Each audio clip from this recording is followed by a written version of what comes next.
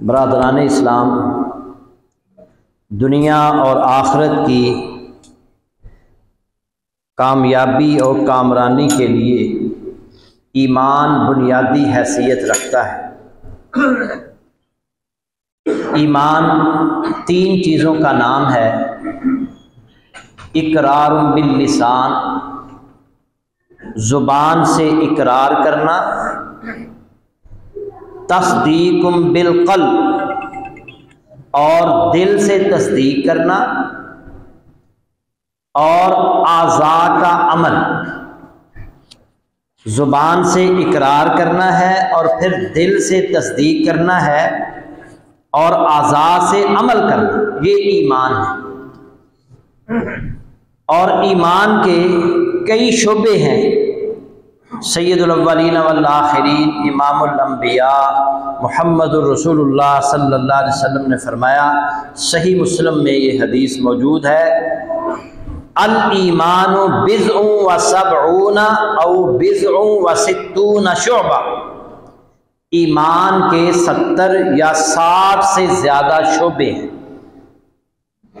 फ़अफ़लहा कौलु ला सबसे अफजल शोबा ला इलाहा इल्लल्लाह कहना है। व अदनाहा इमातुल अज़ा तरीक। और सबसे कमतर शोबा, रास्ते से तकलीफ़ दे चीज़ को दूर करना। यानी अफजल ईमान ला इलाहा इल्लल्लाह है। और सबसे कमतर ईमान, रास्ते से आप गुजर रहे हैं कोई तकलीफ़ दे चीज़ है तो आप उसको हटा देते हैं, दूर कर देते हैं। ये भी ईमान है और ईमान का सबसे अदना शुबा है। वल हया मिनल, वल हया शुबत मिनल ईमान, और हया भी ईमान का एक शुबा है। अब आते हैं ईमान के अरकान की तरफ़। ईमान के कुरान हदीस से पता चलता है कि छह अरकान हैं। ईमान के छह अरकान हैं। नंबर एक, अल्लाह पर ईमान लाना। नंबर दो, फरिश्तों पर ईमान लाना। नंबर तीन, किताबों पर ईमान लाना। नंबर चार, उसके रसूलों पर ईमान लाना। नंबर पाँच, क़यामत पर ईमान लाना, और नंबर छः अच्छी और बुरी तकदीर पर ईमान लाना। ये छः ईमान के अरकान हैं। इसके दलाइल कुरान हदीस में अल्लाह ताला फरमाते हैं, वलाकिन्नल बिर्रा मन आमना बिल्लाहि व यौमिल आखिरी। वल मलाइकती वल किताबी वन नबीन दर हकीकत नेकी ये है कि अल्लाह ताला पर ईमान, क़यामत के दिन पर ईमान, फरिश्तों पर ईमान, किताबों पर ईमान और नबियों पर ईमान ला। ये सूरतुल बकरा की आयत नंबर एक सौ सतर इसी तरह सूरतुल बकरा की आयत नंबर दो सौ पचासी में अल्लाह ने फरमाया आमनर रसूल बिमा उन जिला मिर रबी वल मुमिनून। रसूल ईमान लाया। उस चीज़ पर जो उसकी तरफ़ से अल्लाह ताला की जानब से उतरी और मोमन भी ईमान लाए। कुल्लुन आमन बिल्लाही व मलाइकती व कुतुबी व रसुली ये सब अल्लाह ताला पर, उसके फरिश्तों पर, उसकी किताबों पर और उसके रसूलों पर ईमान लाए।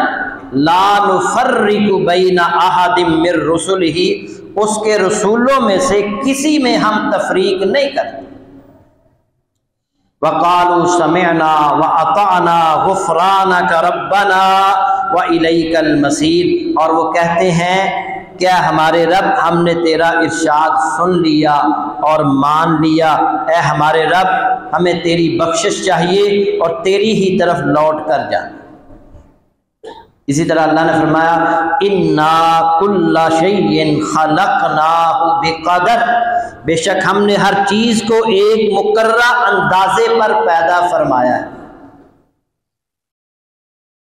और नबी सल्लल्लाहु अलैहि वसल्लम के पास जबरील सलाम इंसानी शक्ल में आए और उन्होंने अल्लाह के नबी से सवाल किया, ईमान क्या है? तो आप सल्लल्लाहु अलैहि वसल्लम ने फरमाया अल ईमान अन तुमिना बिल्लाही व मलाइकत ही व कुतुब ही व रसुल ही वल यौमिल आखिरी। व तुमिना बिल कदरी खैरी ही व शर्री।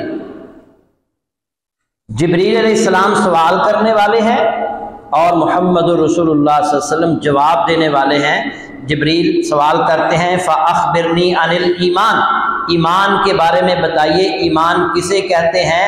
आपने फरमाया कि तू अल्लाह पर ईमान लाए, फरिश्तों पर ईमान लाए किताबों पर, अल्लाह की किताबों पर ईमान लाए, उसके रसूलों पर ईमान लाए, क्यामत पर ईमान लाए, आखरत के दिन पर ईमान लाए और अच्छी और बुरी तकदीर पर ईमान। ये ईमान ये छः अरकान हैं ईमान की।